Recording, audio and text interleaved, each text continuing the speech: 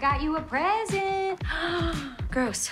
This is the new thing you're doing now? Hate on mom? Come on. This isn't us. We're like the Gilmore girls, but with bigger boobs. My mom had me when she was my age. You're gonna like Massachusetts. Perfect for a fresh start. We move a lot, so I'm always the new girl. Who's that? That is Ginny's mom. I know. I'm such a psycho. Ginny's thriving here. She has friends. This adorable little boyfriend. Mom, grow up. We've kissed like three times. That's it. Seriously?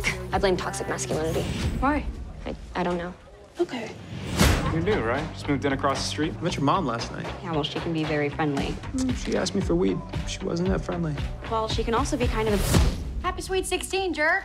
God, I crush on Georgia grows every day. Is that weird? Yes. Sorry.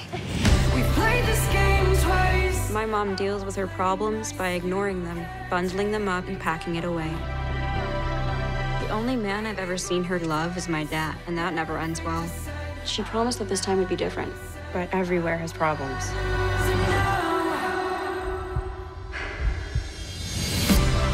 We live in a man's world, and it is exhausting to exist in a world where you matter less. I've met Georgia Miller, and I do believe her to be dangerous. I'm sick of the feel like I don't even know who my mother is. I've done things I'm not proud of, but I'd do them again. I'd do anything to protect my kids like no one ever protected me. Anything. It's me and you against the world, kid. Remember that.